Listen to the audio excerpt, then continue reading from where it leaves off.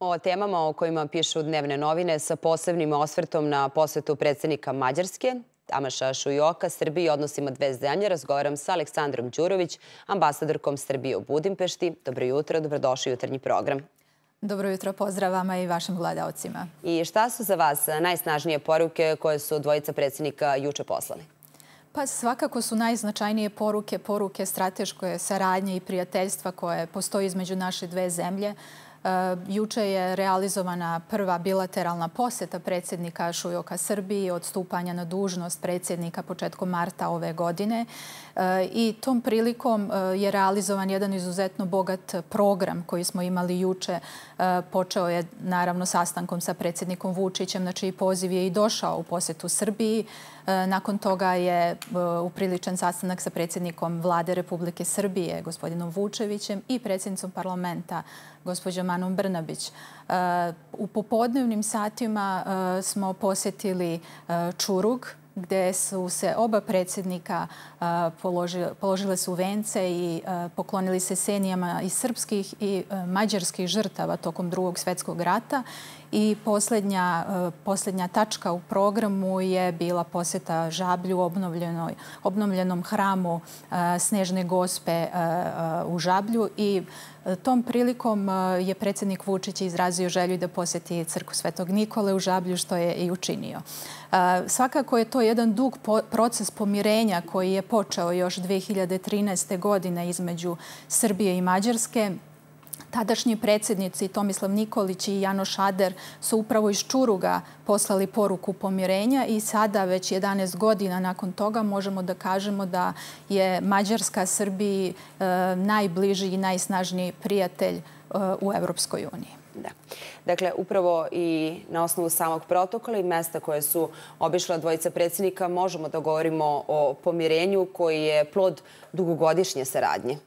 Svakako, to pomirenje je došlo e, kao istinska volja i želja i politička volja prvenstveno da do njega dođe, a sada, posle toliko godina, možemo da kažemo zaista da smo prešli jedan veliki put i da e, u svim mogućim forumima, ne samo bilateralno između Srbije i Mađarske, možemo da vidimo da postoji iskreno prijateljstvo, poverenje i razumevanje jednog naroda prema drugom i zaista smo na to jako ponosni. E, u mnogim situacijama situacijama Mađarska je pokazala da je iskreni prijatelj Srbije onda kada je najteže. E, to mislim svakako na razne međunarodne organizacije gdje su pitanja od izuzetnog značaja za Srbiju bila na dnevnom redu, gdje smo uvek imali neskrivenu, jasnu i snažnu podršku Mađarske. Da. I prijateljski odnosi predsjednika Srbije Vučića i mađarskog premijera Orbana su uslovili i političku i međunarodnu podršku i zaista smo svesni da Srbija može da računa na podršku podršku Mađarske po mnogim pitanjima e, u vrijeme vašeg vandata kao ambasadorka pri Savetu Evrope. svedočili ste tome da je Srbija imala značajnu podršku Mađarski kada govorimo o pitanju Kosova i Metohije.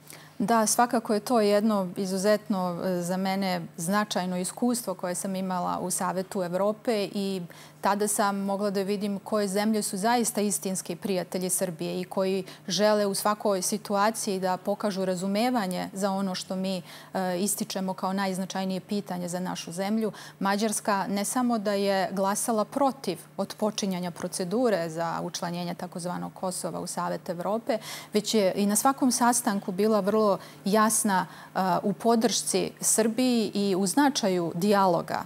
I dijalog je ključna stvar koju uvek predstavnici Mađarske ističu uh, u pogledu uh, situacije u Srbiji, u pogledu pitanja koja mi ističemo kao najznačajnija. Dakle, ne samo što je u Savetu Evrope na nivou komiteta ministara Mađarska glasala protiv, moram da istaknem i tu parlamentarnu dimenziju koja je uvijek jako važna, a to je da je i parlamentarna skupština kada je raspravljala o tom pitanju, da smo imali podršku i poslanika mađarske delegacije koji su također bili protiv. E, svakako kruna I najznačajnija stvar u saradnji između naše dve zemlje je upravo to prijateljstvo koje postoji između predsjednika Aleksandra Vučića i premijera Viktora Orbana. Jedno snažno prijateljstvo i poverenje i e, to je nešto što je ključno u tome da Mađarska u svakoj situaciji e, jasno i nedvosmisleno podržava Srbiju i dosta se učinilo u pogledu naše bilateralne saradnje, ekonomske i političke svakako. Poruka Šujoka koju smo čuli juče, ali i Orbana prethodne nedelje je da Evropska unija neće biti kompletna bez Srbije. Dakle, e, više puta e, u poslednjih nekoliko dana snažna podrška Srbiji ka tom evropskom putu. Koliko je to značajno uopšte taj narativ koji se sve češće čuje od mađarskih zvaničnika u Briselu?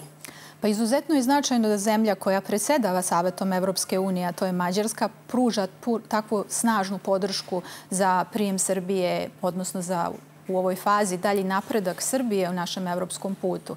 E, jedan od prioriteta tokom njihovog predsedavanja koji su oni istakli jeste upravo proces proširenja. I, eh, i sa bezbednostne strane je jako bitno da i ovaj deo Evrope bude eh, uključen u Evropsku uniju i Mađarska je toga jako svesna kao najbliži sused Srbije. Eh, I oni su u svakoj situaciji se trudili da istaknu podršku Srbiji na daljem putu evrointegracija i činjenica jeste da Evropska unija ne može da bude kompletna bez regiona Zapadnog Balkana kao punopravnog člana Evropske unije i to je jedan od spoljnopolitičkih prioriteta Republike Srbije. E, Srbija sve čini da ispuni e, potrebne kriterijume za dalji napredak, odnosno u ovoj fazi za otvaranje klastera 3, e, ali također treba da postoji volja i sa druge strane. Svakako da je to samo do Mađarske, do toga bi već došlo, ali mora da postoji konsenzus po svakom pitanju daljeg napretka na putu evropske integracije. Prijateljski i politički odnosi se manifestuju na polju privrede i ekonomije. Uskoro će biti puštena u saobraćaj brza pruga Novi Sad-Subotica. A kada ćemo brzom prugom i do Budimpešte i koliko su predani tom zadatku? E, zaista su predani kada su prevazišli neke početne poteškoće koje su se ticale očekivanja vezana za e, od strane Evropske komisije, Evropske regulative e, oko, oko tog pitanja. Oni su krenuli punom parom da rade na svom delu pruge. E, možemo da čujemo evo i juče i na prethodnim sastancima da se očekuje da i mađarska strana završi svoj deo pruge negde u 26. godine.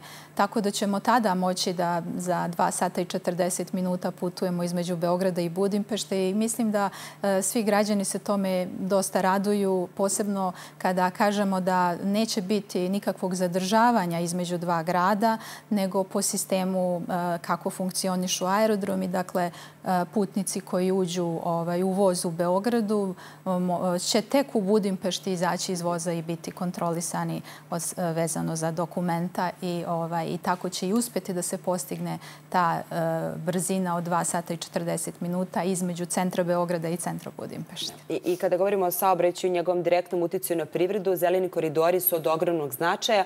Mađarska će zaposliti novih 200 carinika i to bi trebalo da skrati pre svega vreme čekanja na granici, a očekuje se i proširenje graničnog prelaza Horgoš-Reske. Da li su poznati rokovi za završetak tog projekta?